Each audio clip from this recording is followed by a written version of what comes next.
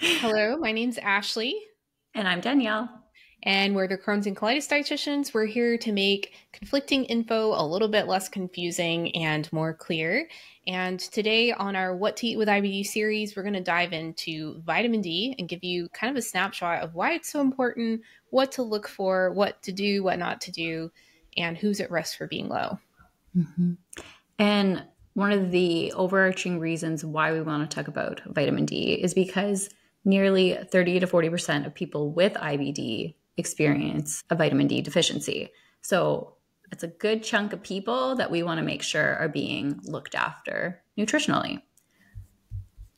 And you kind of get this snowball effect with vitamin D where we are low and at risk for being low for many reasons, including just having active inflammation. But we also need vitamin D to help with our gut barrier and to help with inflammation control. So we want to supplement it if it is low because it's associated with other things that when it is low that we don't want to be happening. And so it is important to address it, get the right dose, and then retest to make sure that your levels are good. Mm-hmm. Absolutely. And, you know, vitamin D is important for many, many reasons. We're just going to cover a few in this video. But the big part about it is it's called vitamin D, but it's actually a hormone and it plays a lot of roles in the body. One of them is the fact that it can be a protective role in gut health. Um, oh my gosh, Ashley, but why?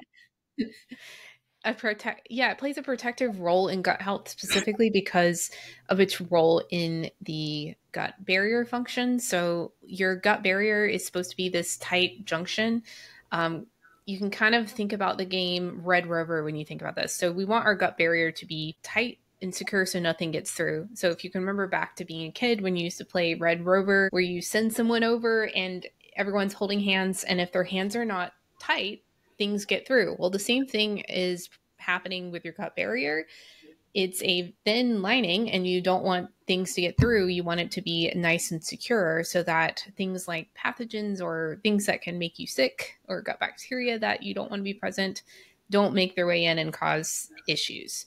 And so vitamin D plays this important role in helping your body maintain that barrier and also helping produce things that help with reduction of inflammation. So that, that's the really important role with vitamin D. And you know, I think those of us with IBD, we're just more at risk for having a deficiency because we have inflammation. But there are other factors too that can certainly contribute to another increased risk, like including where you're located. If you're located more in the northern hemisphere, if you don't get a lot of sun, or let's say you ha- you're in a climate that requires a lot of clothing, like where not a lot of your skin is showing. Even skin pigment, so darker skin pigments, are more at risk for being low. And so it is important, it's an important thing to check. Even in places where you do get a lot of sun, you can still be low, even just due to having a gut condition or numerous other reasons why, you know, it could potentially get low over time. Mm-hmm. And with that being said, too, I know I've had a client in the past that said to me, so they had IBD. And he said to me, like, oh no, I'm not supplementing anymore because I've been outside more. And before anyone stops supplementing, we would definitely recommend getting your vitamin D checked to ensure that your levels are appropriate because of what Ashley just said. Even if we go out in the sun, we have to make sure it's for you know a certain amount of time. We have to be wearing minimal clothing so that our body can oh my gosh, what can our body do? Synthesize, it properly. yes, that's the word I was looking for.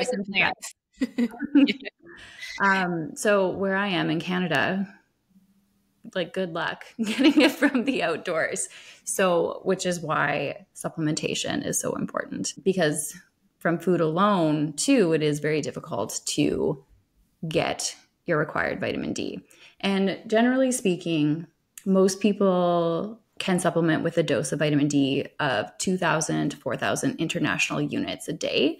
That is generally safe, but of course, always check with your specific health provider before you go jumping into any new kind of supplement. Also, the healthcare provider will take into consideration what your levels are, maybe what the state of your disease is like to determine if a higher dose is needed. Because if you oversupplement with IBD, that can also be problematic. Oversupplementation of vitamin D has the potential to bring about nausea and vomiting. It may also bring about a little bit of weakness and it could get more calcium buildup in your blood. So please talk to your healthcare professional. Yeah, it is one of the not all nutrients are like more risky in terms of just guessing at a dose, but vitamin D and I would say iron is too.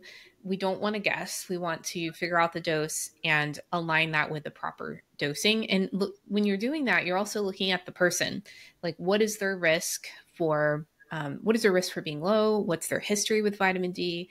And do they have any other risk factors that we might need to consider in terms of dosing vitamin D? Like, you know, kidney stones, um, certain histories of things that we want to consider and watch for throughout that process. So don't guess. Make sure you get get a specific dose from your healthcare provider and then follow that with the test, you know, six months to a year, especially if you're more prone to wintertime low vitamin D. Would definitely get tested again. All right, that's that. Thanks for listening, and I hope that was helpful.